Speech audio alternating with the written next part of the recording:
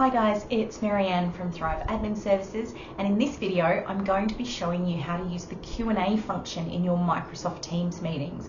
This is different to the chat and I want to show you how it can give you more structure and control over the conversation and flow and help you to generate more of a structured response system than perhaps you might normally get in the chat. So let's jump over into Teams and have a look. So the first part that we're going to talk about is what the Q&A is and how you access it. So it's an extra function in your Microsoft Teams meetings and it lets you manage questions from your attendees or the participants as an organizer in a specific and sort of se separate section to the regular chat. And it's really good for large meetings. It's perfect for webinars, but it's also really good where you want to be able to answer things in real time and create a thread attached to those questions. So what you'll find is that um, I've got an example here of a meeting that I've hosted. This is my monthly academy coaching session. So you can see this is the chat function. And what happens here is that we've got everybody who's joined and all of the different um, comments that people pop in. And when there's commenting on them, you can comment in the chat and pop a comment in. You can react as a participant. But what happens is that then we have this alternate option, which is our Q&A and that's a separate section. So you can see it comes up up here on this version. And what it does is you can see, I've, I've had it in effect for this uh, coaching call. And what it does is it breaks things down into different sections. So we've got comments. Uh, this one, we've got different comments. We've got different people who've reacted. And I can have a look at this and I can close this one or I can pin it. So we've got some, uh, we've got a link here. We've got here someone else uh, popping some comments in. If they want to ask a question, they can set them up. So they can ask questions, and if you see here, it allows them to ask a question, and it also allows attendees to reply to questions. So you can create threads within those questions. And then you can also do it anonymously, which is the big difference between the chat and the Q&A. So if you've got a group of people and you may not, your attendees may not want to be identified by the question that they're asking, this is a great way to do that. And then you can also moderate things, which allows you to review your questions before approving or rejecting them to go into, into this forum. So it gives you a lot more control. The chat is open to everyone who attends and is a little bit more free flowing and a little bit more conversational. It is a chat function as opposed to a specific question and answer forum. So that's the key difference. And it's, it's the kind of thing you should think about if you're wanting to create a more structured thread formula, if you're wanting to have people respond to specific questions that you pose or that a moderator poses or that even one of your co-organizers can manage for you in a session. And it means that you can then group responses under topics and threads as well, instead of it being this sort of large mass that you'll have to work through manually. So in the next section, I'm going to show you how we activate it in our set, in our meetings. So now we're going to have a look at how we would go ahead to create our Q&A session in a meeting. So I'm going to create a new meeting. That's popping up on my other window. So we're just going to call this uh, meeting with Q and A.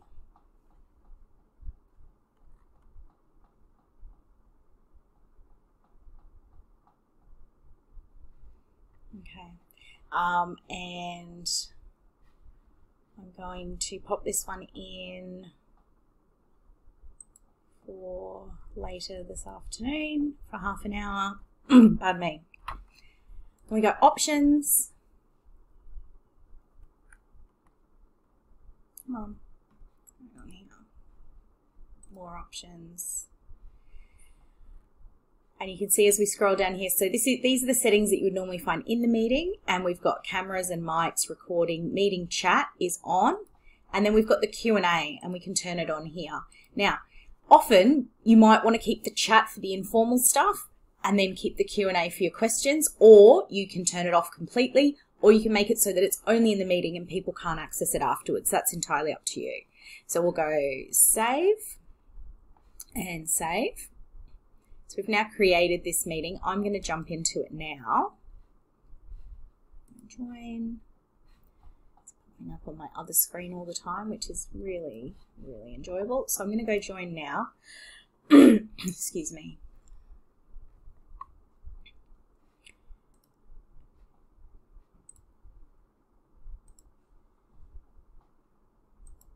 And you can see we've now got this little tab up here called Q&A because it was activated at the time the meeting started.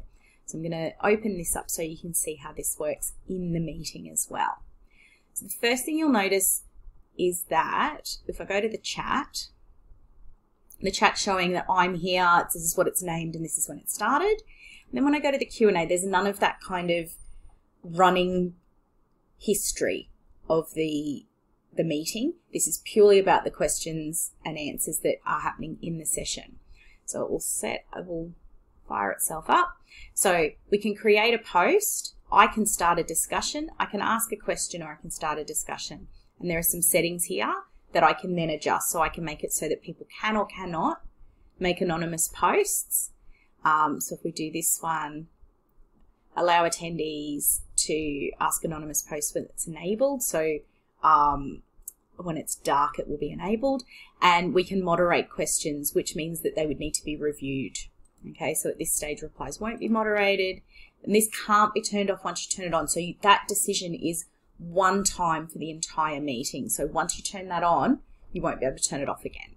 So I'm going to save this. And if we go start a discussion, I can pop something in here and you'll see that I've got the option to make it a discussion or a question at any point before I post it. And I can make it into a bullet or numbered list as well. Uh, so this is the Q&A section. Please add a new post with any questions you might have for me to cover in together. Now we can post it anonymously, just so you can see it. And I can also um, highlight, I can make some of this bold, so I can format some of these things this way. So if we post this, what you'll see come up is that it's been added into this thread. People who are here can now uh, react to it or they can comment on it and add a comment specifically as well. If I was to ask a question, when we ask a question, I can say, um,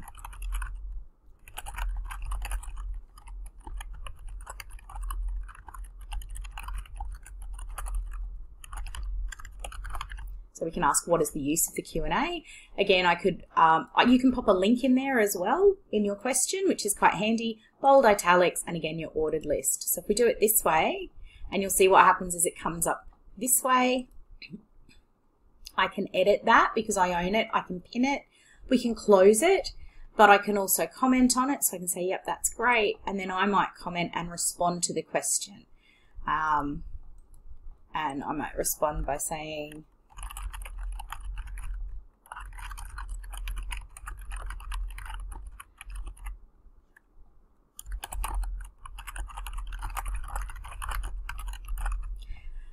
how we create a thread of answers so that they sit under the correct topic. So if I post this, you'll see it sits under here. It's not sitting in the, the line like it would with perhaps uh, the chat, where it's just in a, a, a, chronological order of when it appears. So if I was to um, respond, I can correct that as well, but if I was to respond as well, go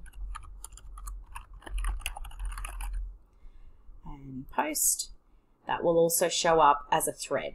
So what you end up with is a question and then all of the answers, which is really handy as an uh, as a manager or an organizer of a meeting because you can come back and collate all that information and use it in other ways later instead of trying to figure out which comments go with which particular question.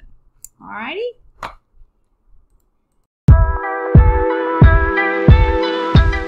So there you have it that is the Q&A function in Microsoft Teams.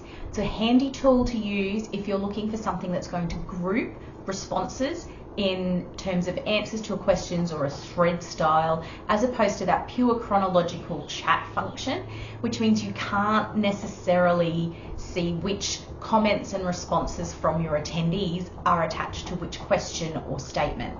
So check it out. Remember that you need to set it up and activate it prior to your meeting starting, and if you want to moderate it, that once you choose to moderate it, you won't be able to turn that set that setting off for that session. Have a go, see what you think of it, and let me know.